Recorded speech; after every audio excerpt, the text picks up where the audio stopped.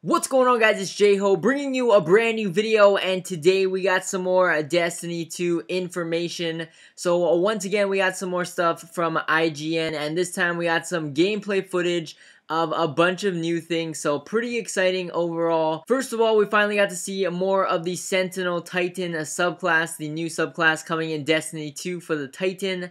Uh, we got to see more gameplay of it in this little Control Crucible match that we got to see a video of from IGN, so that's pretty cool. And then we also got to see some gameplay of the updated version of the Void Walker Warlock subclass, so pretty cool stuff. Some cool changes that we saw there as well. And then we also got to see some of the changes for the updated version of Control in Destiny 2, so that's pretty cool as well. Probably gonna make a separate video on that one. And then finally, we got to see the new Crucible map, Endless Vale on Nessus. So pretty cool stuff, but let's get straight into it. So first of all, starting off with the Sentinel Titan subclass.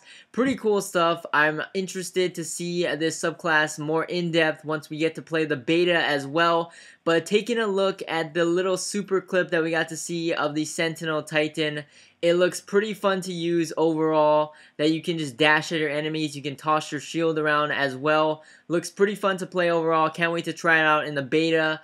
Um, but also, he looked really fast in terms of his movement, so that was pretty strong. It looked pretty hard to react to and hard to counter overall, unless you have your own super, like maybe a Titan Smash with Striker Titan or something. Overall, it looked pretty hard to defend against, but can't wait to try it out and take a look at it more in-depth once we finally get our hands on it in the Destiny 2 uh, beta.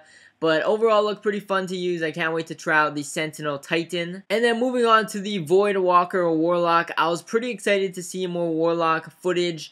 Uh, just because I was a Warlock main in Destiny 1. So pretty excited to see anything new in terms of the Warlock or the Voidwalker subclass. And it was pretty cool. We saw Blink return, so we finally got a confirmation on a Blink returning. And it looks like this might be the only subclass that has Blink in the game.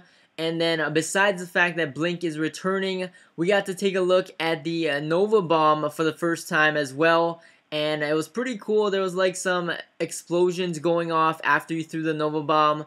Um, it looks like it's not going to be a roaming super unless you can alter the uh, super in some of the skill trees that are within the Voidwalker subclass. We don't really know uh, too much in depth at this point right now but pretty exciting to see that the Nova Bomb creates multiple explosions, so you can kill multiple enemies in an area. So that looks pretty cool. Can't wait to take a look at the Voidwalker subclass more in depth as well. And then finally, we got to take a look at the new Endless Vale map. Looks pretty good overall. Looks like a very balanced map. It kind of reminded me a little bit of Shores of Time just because it's a Venus looking map and it's a lot of green and everything. And just a more balanced version of that. So looks pretty good overall from what we've seen so far. I'm going to make another video about all the Control Crucible changes, so stay tuned for that. Stay tuned for uh, more videos. We're going to be getting more information on Destiny 2 throughout the week leading up to the beta. So we're about a week away from the Destiny 2 console beta coming next week starting on the 18th. Really exciting stuff. We're going to have a lot of stuff coming in the next couple weeks. So can't wait for everyone to get their hands on Destiny 2 for the first time starting next week.